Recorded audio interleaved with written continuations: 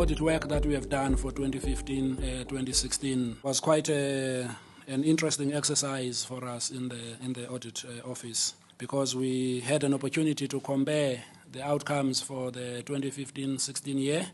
over a journey that we have been on for a number of years as the audit institution. And today we are going to be sharing the three year profile of the audit work that we've done. We, when examining financial statements, often look at the fair presentation and absence of material misstatements in financial statements, which is the area that normally uh, gives rise to qualified or unqualified opinions.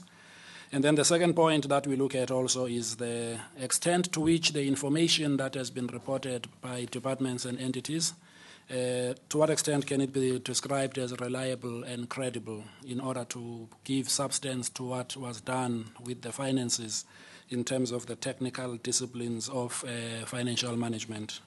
And the third component that we look at is compliance with key legislation governing financial matters. As we know, these are public funds, and all institutions that are entrusted with uh, ha- handling these funds and doing the programs that they had committed to have to sign up to certain requirements of legislation, among which are the area of supply chain, which historically has always been a vulnerability when it comes to compliance.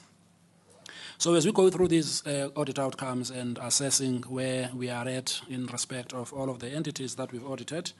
that is the context of the three areas that often give rise to what we refer to as clean audits in the public domain. But in technical speak, these will be outcomes that are reflecting unqualified uh, financial statements with no significant findings on